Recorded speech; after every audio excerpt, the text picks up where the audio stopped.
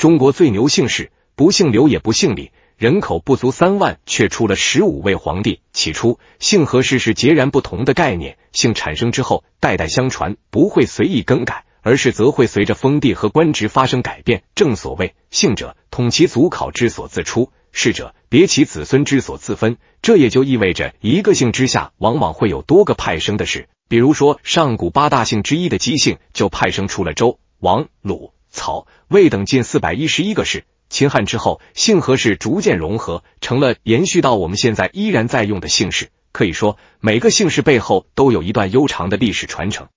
那么，一度被誉为中国最牛的姓氏，您知道是哪一个吗？在时光的涟漪中，探寻千年前的悠悠回响。欢迎订阅《望古风尘》。这个姓氏存在了近三千年，出现过十五位皇帝，只是可惜现如今的人口数量还不足三万人。他就是司马姓。说到司马这个姓，他是个复姓，历史可以追溯到西周时期。那时候司马不是个姓，而是一份工作的名称。根据《史记·楚世家》的记载，立子比为王，公子子西为令尹，弃疾为司马。意思就是那时候有人被任命为司马，负责一些特定的职责。后来。这个官职的名字就变成了一个姓氏，尤其在西晋和东晋时期，司马姓成了皇族的姓氏。殷商时候有五大官员：司徒、司空、司徒、司寇和六卿，主要负责军政和税收。到了西周，司马相当于现在的国防部长兼内政部长，管着军队的税、训练和法律。汉武帝时期，大司马成了大将军的一个额外头衔。后来，司马也变成了一个姓，跟司空。司徒一起被称作三司，说司马这个姓，他出了十五个皇帝呢。最著名的就是晋朝时期的司马懿他们家。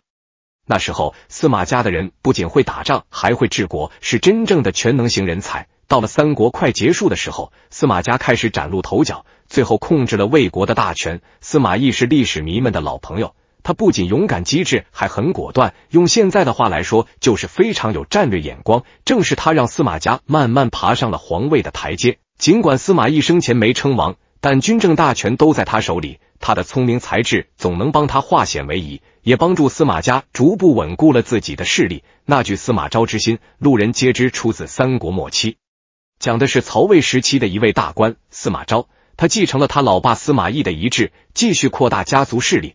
那时候，司马家在朝廷可是呼风唤雨的存在。当时的皇帝曹髦不甘心被司马昭控制，就用了这句话来形容司马昭的野心，还试图反抗他。结果呢，曹髦被司马昭的人干掉了。这事情对司马昭一点影响都没有，反而后来他还被封为了晋王。这说明了，虽然司马昭不是皇帝，但实际上跟皇帝差不多。司马炎作为司马昭的大儿子，在老爸因中风挂掉后，接管了军政大权。他上任不久就迫使曹奂退位，自己建立了西晋王朝。上位之后，为了巩固权力，司马炎实施了一系列改革。虽然沿用了曹魏的制度，但也加入了一些新意，对后来的西晋产生了不小的影响。不过灭吴之后，司马炎开始对朝政失去了兴趣，沉迷于享乐，最终五十五岁就早早离世了。继任的司马衷这位皇帝就比较迟钝了，不太会管理国家。历史上著名的八王之乱就是发生在他当政时期。因为领导能力有限，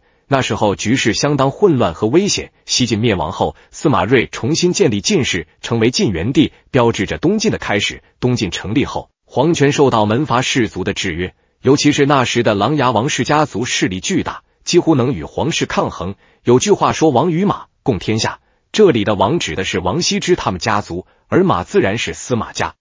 随着时间的推移，姓氏也开始有了新的含义。晋朝虽然只有二百余年的历史，但是从司马炎到司马德文出现在庙号的皇帝却有十五个。但是晋朝也是皇权最弱的一个王朝。晋朝在历史上对中国的贡献很少，而且当时内忧外患不断，除了要应对外敌的入侵，还要面对国内士族阀门的制约，因此司马家族的人口很少，难以扩散。随着晋朝的灭亡，为了避免被迫害。许多贵族都改了姓氏，尽管司马姓的人不多，但关于他的来源却有很多传说。据说有多个姓氏改姓为司马，如陈、田、姬、米、子等，甚至书法大师王羲之的一位长辈为了避祸也改姓司马。而在晋朝覆灭之后，部分司马姓的人也将姓氏改为司马、同、冯、同等。司马姓为中国汉族传统的复姓之一，也是众多复姓中知名度相当高的一个姓氏。司马姓的起源众多，不过总体说来，大多都是源自于官职，只是这些官职之间并没有血缘的传承，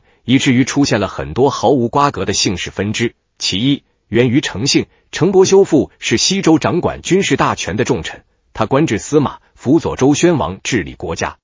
后来他率兵平定了许方等地，立下了汗马功劳。周宣王为了褒扬他的功勋，便准许他以官职为姓，其后便以司马氏为姓，得以传承。以此来算，其历史距今已有两千七百多年。其二，源于芈姓，芈姓是春秋时期楚国的国姓。春秋时期，楚国有一位大司马，名叫芈子反，他执掌楚国军队期间，曾为楚国立下赫赫战功，是楚共王属下的重臣。其后人便其官职为姓，后来很多楚国担任大司马的人，他们的后人也进阶以此司马为姓，这等传承习俗俨然成了楚国的一道亮丽的风景线。其三，源于姬姓，姬姓是周朝的国姓，在春秋战国时期，姬姓的影响力下降，从其中分出来很多氏，他们便开始以氏为姓，而韩姓便是其中之一。春秋时期晋国的韩厥曾任大司马，基于他的影响力，其后人便以司马为姓，得以传承后世。其次，源于子姓。春秋时期的宋国孔夫家曾经担任过大司马，他原本的姓氏为子姓，是孔子的六世祖。其后人有些人传承了孔姓，有些则传承了司马姓。其五，源于陈姓，而这一姓氏的荣光，则都源自于司马懿。司马氏在三国时期已经成为了曹魏世传的大族，等传到司马懿这一代，则开始走向了一条腾飞大道。在高平陵事变之后，司马懿扫清了掌权路上的曹家人，正式掌握了魏国的政权。只是他并没有迈出称帝的那一步。公元二百六十五年，司马炎正式篡位称帝，改国号为晋，拉开了西晋的历史。十五年后，西晋灭亡了东吴，就此完成了中原大地上的一统。只是好景不长，西晋还没享受到多少荣光，便迎来了八王之乱。使得西晋王朝元气大伤，加速了崩溃。公元三百一十六年，西晋被趁机崛起的匈奴人灭亡，而内迁的少数民族又趁机举兵，造成了让中华民族蒙难的五胡乱华，大量百姓与士族南渡。次年，司马睿和过江的士族大家建立起东晋政权，历史就此又迎来了东晋时期。两晋的历史共传了一百五十多年，而传承的皇帝有十五位。只是，如果不是老祖宗打下来的底子，后来的这些姓司马的皇帝自然只是一个笑话。现如今，司马姓依然为复姓中的大姓，在全国范围内的分布很广泛。根据姓氏大全显示，在河南、山西、湖南、安徽、湖南、山东、江苏、贵州、北京、上海、天津、河北、内蒙古、香港、台湾等地区均有司马姓的族人分布，而其中又以河南居多。洛阳、偃师。温县又是司马氏最为集中的三个地方。按理来说，司马姓曾是两晋的国姓，而且司马懿以及后人在生育能力上又相当给力。